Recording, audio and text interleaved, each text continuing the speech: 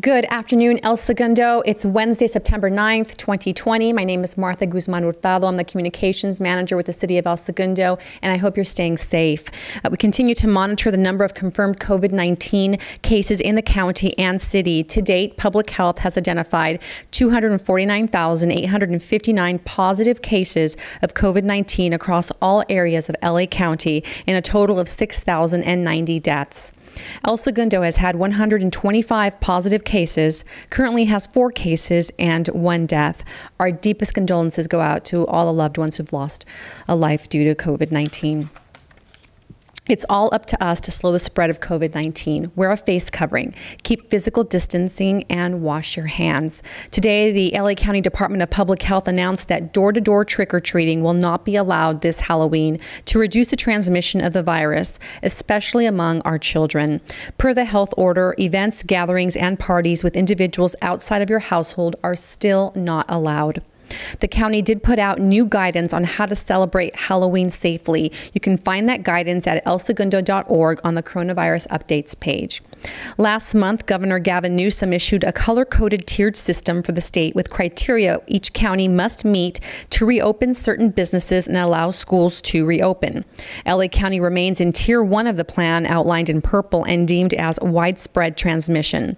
One key threshold the county needs to meet before moving to tier two is getting the seven day average of new cases per day down to seven cases per 100,000 people. Currently, the county is at 11 per 100,000 people.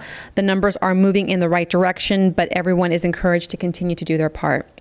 On Monday, September 14th, Los Angeles County will allow schools to offer on-campus services for small groups of K through 12 students who need support, learning support, including children with special needs. Waivers are not required, but schools must submit an operational plan to the Department of Public Health and comply with the health officer order. The city of El Segundo launched the Be Kind to Your Mind mental wellness campaign to bring the community resources to handle stresses stemming from the uncertainties of COVID 19. As part of the campaign, a series of videos shared on social media, elsegundo.org, and El Segundo Media Channel 3 will cover a wide range of mental health topics. The goal is to encourage the community to talk about mental health issues and reduce the stigma associated with needing help. If you need to talk to somebody, support is just a phone call or text away. Please reach out to the LA County Helpline at 800 854 7771 or text the letters LA to 741 741. The City of El Segundo Recreation and Parks Department is now accepting reservations for Brett Field and Softball Field for members of the same household. The fields will be open for limited use and reservations are required.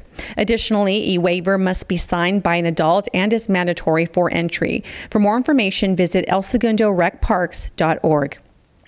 The City Council is currently accepting applications for committees, commissions, and board positions. To see a complete list of the immediate openings and to apply, visit the city's website at elsegundo.org and click on the news item on the homepage.